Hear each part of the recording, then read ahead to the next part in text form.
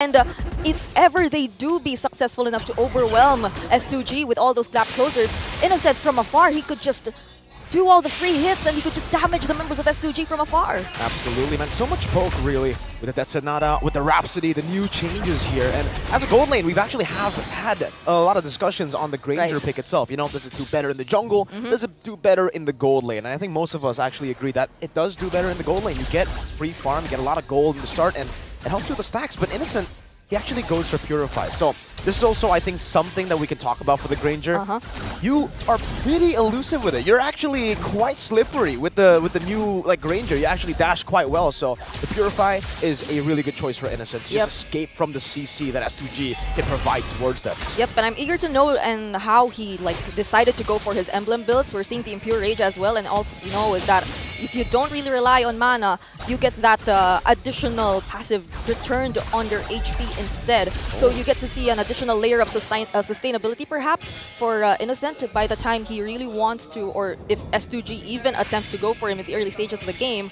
But Selangor Giants, it does seem like they're actually preventing this brute force playstyle come out from S2G. We know for a fact that it's one of their specialties. They really want to force things out early on, but it's SRG.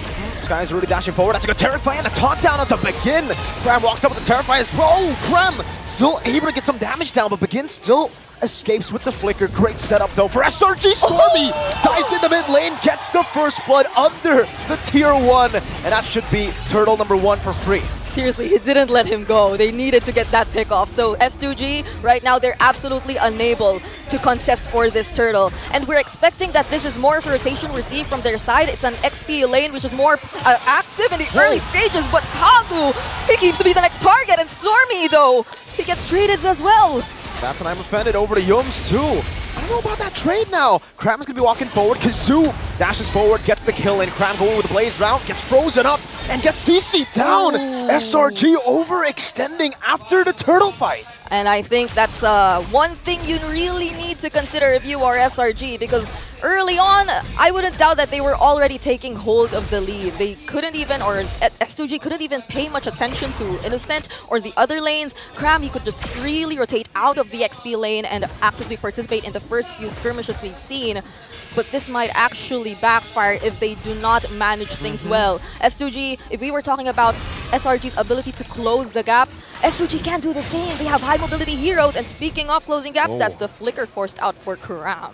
Yep. Already a big resource burnt out there. 50 seconds for the turtle, so they have that resource already burnt out. It's great to deny those crazy engages. Lunar walks up, gets the I'm offended. It's a bit more poke over to Cram, who will just sustain back up on the Khalid. Here though for S2G, it really seems like early on, maybe they didn't have those ultimates to fight with. But Turtle number two onwards, they should have these big ults that you were talking about. Yep. Frigid Glacier for Begin. Uh, there's also a risk that Stormy takes it though. He's in the bush, gets the I'm offended over to Lunar. Now also Raging Sandstorm, great flicker for Lunar. Skies walks in, Frigid Glacier will be able to stun him up. Skies brought back into the turret, poke down as well by Begin. And both teams will decide to disengage. 18 seconds for the turtle to spawn in the game. There's a team fight that happened once again right before um, uh, this uh, turtle that we were talking about. And S2G Esports, it seemed like they really were able to adjust on the fly. They're taking things a little bit more slow because they know that either way, the uh, most important aspects of their lineup, it's not really being noticed here by uh, SRG as of now. Really, Sigiboom, he's just able to take his Yep. farm, and it might be this time that we see him also take part in the action. Good retreat from Kazoo. Good disengage from S2G. They know that SRG have a lot of CC, so they just go for the objective and bounce. Yep.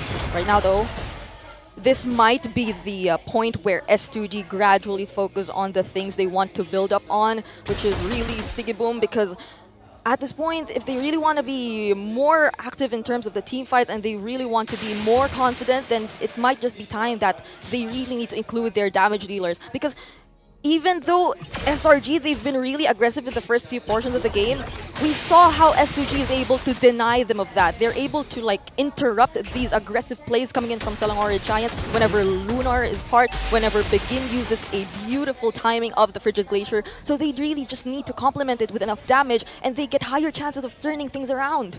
There's just so much stakes here, you know, at play in the land of Dawn currently. SRG playing in their hometown, trying to complete that golden road for S2G, trying to prove the world wrong that they them winning MTC was a fluke. I think a lot of people still have that in their minds, you know, thinking that, oh, Fednar is the better team from Turkey. So far, they're going toe-to-toe Mm-hmm. against probably one of the world's best here, and it's all with, like you said, Siggy Boom, getting the boom in him. Once he gets those item power spikes, it's going to be massive. This Bruno, there's a reason it was so heavily prioed in the Swiss, or sorry, in the wild card, Mm-hmm. Yes. and all the way, I would say, even in rank games, right? Yep. So easy to execute, and you can see the S2G at this point, they're really just stopping SRG's way to try I to take turrets and snowball. I agree because this is the usual kind of Bruno game gameplay you really witness, right? But wait, before that, speaking of the Bruno, Ziggy Boom. Yep, this is all good for Siggy Boom. He wants to go for those fights there. Has the Haas claws, I believe. That's why he's able to sustain back up. And Turtle is going to be spawning up top. SRG tried to get Pryo in the bottom lane, and now they're rotating. Yep, but Pagu, you know, this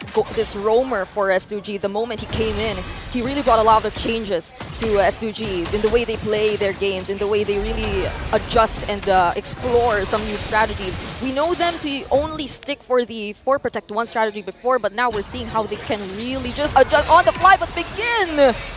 Passive already.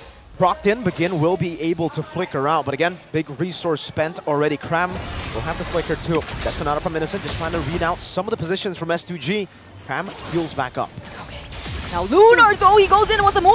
Right, I'm offended, and that's Raging Sandstorm. The catches begin in the back. Will be caught. Popped in Frigid Glacier earlier. Lunar's still there, and it's going to be free hitting for Sigibum into there. Kazoo with the dive. Sky's taken down. and Innocent still kiting away as Kazoo goes in. Yum's isolated from the rest of the team, and Kazoo will double kill his way into a Turtle Pryo. Stormy with a Terrify onto the midst of it all. Going for the guiding wind, but gets boomed down by Mr. Sigiboom. And Pagu, Innocent will be forced back on this Granger, and it's a win for S2G. You would think that would have already worked for the Selangor Red Giants, but S2G, Lunar decided to pick a fight at the exact same time. They also had the uh, the resources, they had proper counter engage. Humes was also there, he was able to zone out enough members here from S2G Esports, but they seemed like they were just prepared to take on the fight that sustained. You can actually feel it from S2G, and it's not just that, it seems like they're able to capitalize a lot more on their innate mobility. It's so crazy. We were talking about the range for Innocent too, but what he makes up for in range, I think he lacks damage. Innocent hasn't really been able to put on the damage onto S2G. Maybe this Granger pick was just not that good against healing. I feel like the Mathilda has really been able to help them out in these sticky situations on, but it does seem like we're just going to get back into the game again. S2G are in the lead. SRG, do they have the late game power to actually play through these team fights? Yep, they have a lot of uh, AoE, if it's just that. But then you really have to see some extra work come in here from uh, Sekais as well as Innocent. So would Sekais be reliable enough to deal with those heroes from S2G, which may be a little bit more hard to reach? And could Innocent deal enough damage for those heroes from S2G who are within reach, who will be like covered here and I don't know, being like in the front lines whenever there's a team fight that happens later on. Because as we're seeing it right now, SRG, they're still able to take the trades nonetheless. And uh, maybe it's this point in time where Sekai begins saying that, oh, maybe we should be a little bit more careful and look for the trades for the meantime. Yeah, that's the advantage that SRG definitely have with the Joy compared to the Suyo, who's really, I would say, better than neutral objectives, but when it comes to split pushing, it's going to be tough for S2G to actually send people down below. Mm-hmm. Pagu, you can see that poke damage from Innocent, and that's why we asked the question, is Granger a mid-game pick or a late-game pick? Because you can see that damage already build up. Pagu still able to heal up. Lunar goes I'm offended over to Yums. Oh. The freeze as well, poking him down. Cram is trying to shot a bit more damage over to S2G, but both teams are just poking each other. Yeah, definitely for uh, SRG, this is the time they need to capitalize on their poking capabilities up against S2G Esports.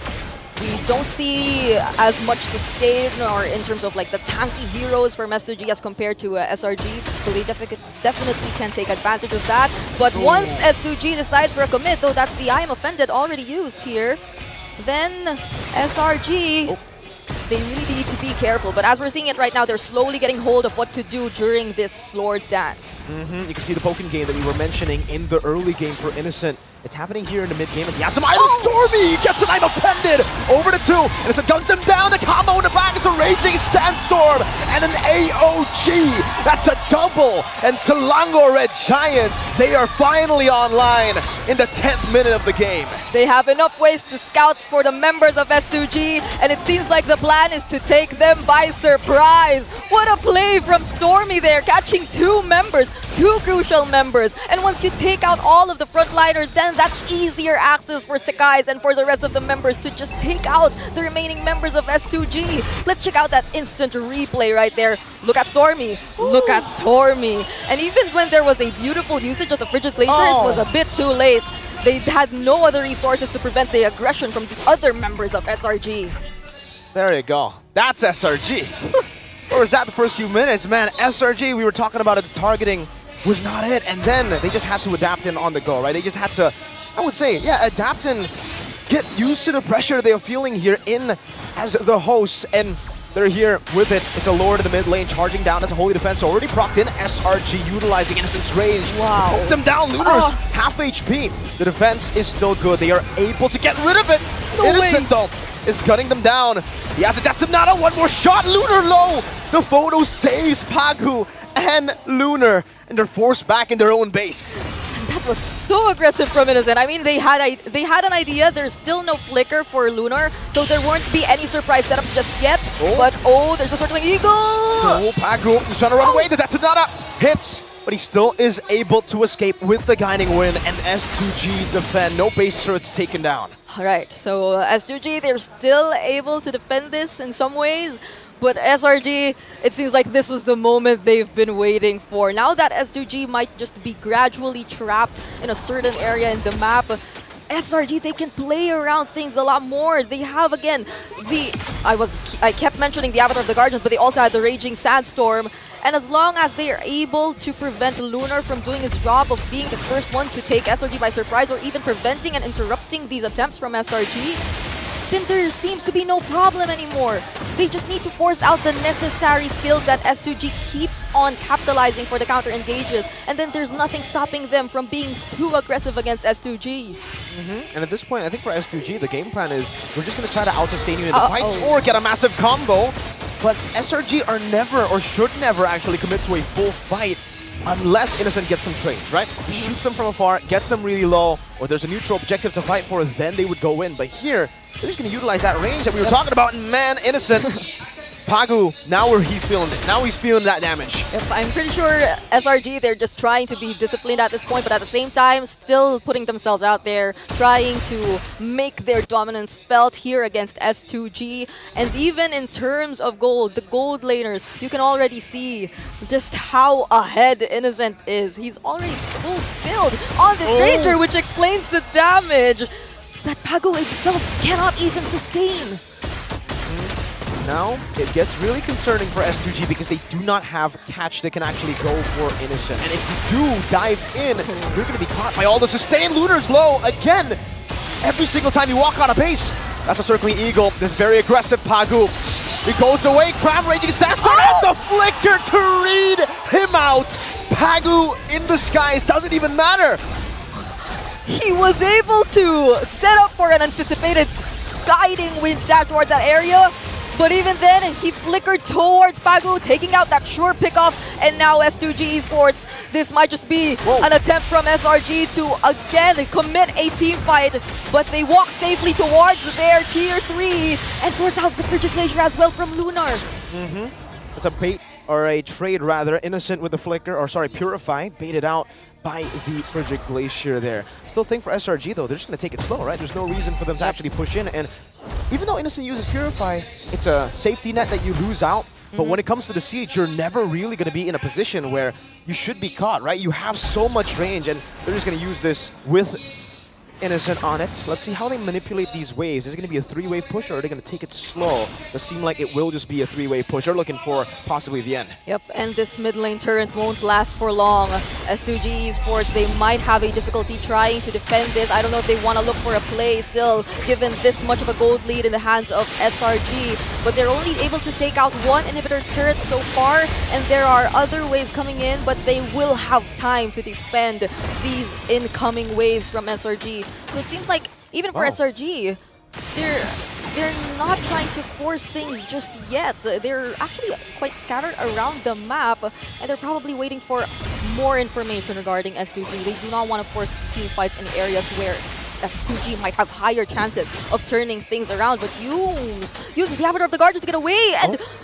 Oh. oh, no! Yeah, Sky is overextending, but it becomes a pretty good trade, I, uh, in my opinion, right? Despite Sky's getting taken down, he did get a few hits there, and it's a base turret in the bottom lane, which is a far lane. There are no objectives for the next 30 seconds, so S2G getting the kill, trading it for a turret is actually worth it for SRG. Yep.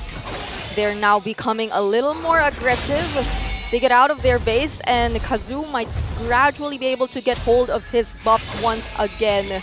But that doesn't mean that SRG will be backing out anytime soon. Scram still shows still shows himself out there. Oh, Kazoo gets caught! That's a winner crown. Stormy gonna be caught in I'm offended too. Able to flicker out to safety as a Frigid Glacier gets placed down. Stormy! Boom down. Sigibu still doing some damage, dodging away from the Death Sonata as Kazoo dives in onto Yums.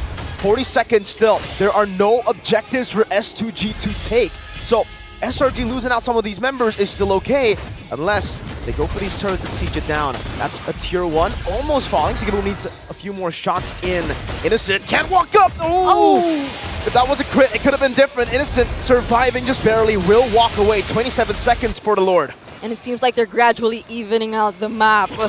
Mirko, this wasn't the scenario we've seen earlier. Even Cram, uh -oh. he's being the recipient of the damage from Siggy Boom. And they take him out 13 seconds right before this next Lord, this level 2 Lord, this enhanced Lord. Or maybe we could wait, they could take the evolved Lord even. Now that's gonna hurt. SRG losing Skies, losing Stormy. It was still all still in the time frame of the Lord not spawning yet. But losing Cram, that's your main initiator. Sky's gonna be stunned up now as Pagu walks up. Sky's no more dashes. Once you get cancelled, it's gonna be tough. It's Sky's dying. Pagu gets the final hit as he fade away, takes the kill. And Kazoo dealt with the Lord. Now he's occupying this bush. SRG, good read with Innocent popping into that, that Sonata. But now it's an enhanced Lord for S2G why did it feel like even though SRG had the range, they really found it difficult to commit the team fights when S2G were being extra careful under their base. And now that they're outside, they're being more aggressive than ever. One another! I'm offended! And a Frigid Glacier too. Good disengage from Yomes. Innocent still in the midst of it all. Popping a Death Sonata. Trying to poke them away, but up top, how low is it? That's a base turret. Taken down. S2G still have the Lord, by the way. That siege was only just the minions. They are slowly pushing the wave in the bottom lane, and the reason they can actually slowly build this way. Oh, Lunar oh. goes in for the big play. Doesn't connect. Raging Sandstorm! A flank. Lunar caught in the midst of it all. Kazoo zoning the back line away as Pagu is able to get the circling eagle to actually peel for Sigibum, who's so free hitting. Kazoo gets the unstoppable. The Frigid Glacier comes in. Sigibum going for the crits. Innocent still using that range, dashing away from the arrow. S2G wants to continue the siege. That was a beautiful attempt from Crown, but S2G, they were prepared. Kazoo blocking the members, the other members of SRG from joining the team fight, and now they're still together with their lord. They will be able to take out all the remaining inhibitor turrets, and could this be it for SRG? No, oh, the snipe down from Kazoo! Innocent force back into the base! A massive...